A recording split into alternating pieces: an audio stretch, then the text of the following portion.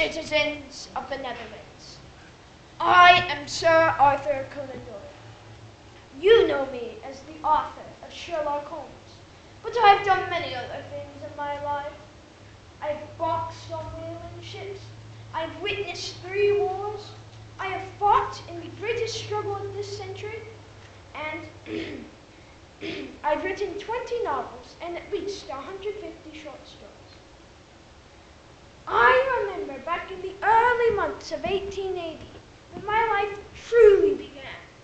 It was my first adventure, my first chance to see the world.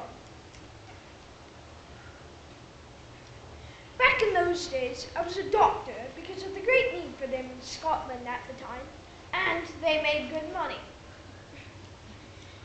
It was in one evening when a man by the name of Currie entered my office in Edinburgh.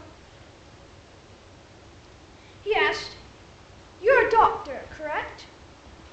Why, yes, I am. And you're looking for work, right? Indeed. Well, you see, down at the docks, we're looking for a surgeon to go on our whaling ship, and we were wondering if you would want to join us. How much does it pay? Two pounds and ten shillings a month. Hmm. May I think about it for some time? Of course. However, it did not take some time to decide. As, as soon as I discovered it, that, er, that I would not be missing anything of great importance, I, had, I made my answer. And so, when I found Currie, I told him and that I had accepted his offer. He was elated that I would be joining him on the trip.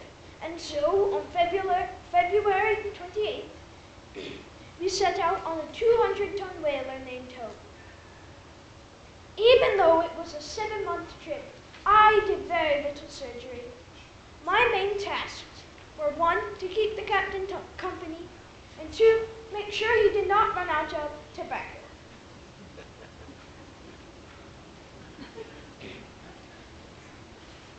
My life was free and easy.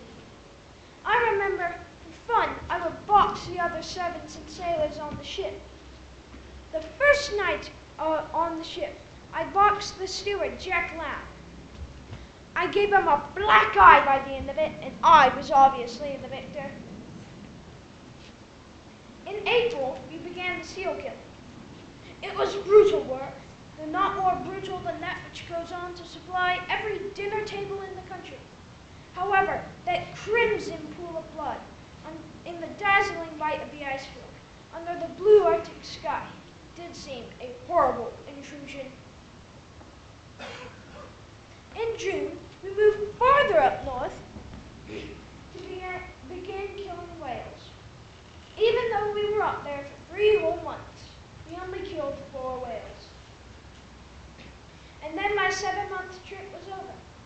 The captain offered me double pay if I would go as both surgeon and harpooner. I still wanted to accept, but the horrors I had seen on that trip still haunt me today. I returned back to Edinburgh and continued writing short stories for the Strand magazine. It was then I decided I wanted to write something bigger and began writing A Study in Scarlet. The Sherlock Holmes you know and love today, who made his first appearance in A Study in Scarlet, is my college professor at the University of Edinburgh, Dr. Joseph Bell. My professor could identify your profession by the calluses on your hand, uncover what country you're from by the slightest differences in your accent, determine if you're a soldier or sailor by your movements, and, get, and could even tell where you've been by the tattoos on your arms and legs. After I, I, I finished writing A Study in Scarlet in 1886, however, it wasn't until 1887 when Beeton's Christmas Annual published my novel for 25 pounds and not a cent more. It is quite disappointing that such a well-known novel today only got me 25 pounds.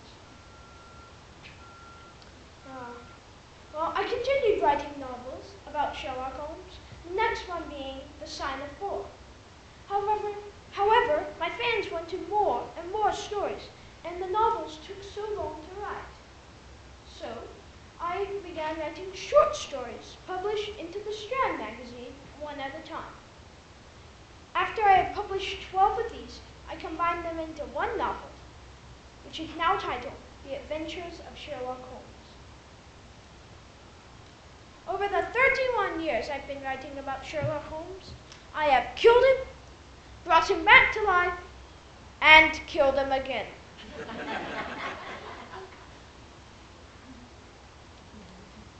After that devastating Great War in 1914, my life has become relatively quiet. I've continued lecturing and writing, mm, but my life has slowed down, and that brings me back to the present. However, I must be going soon. However, if you have any questions, you may ask them now.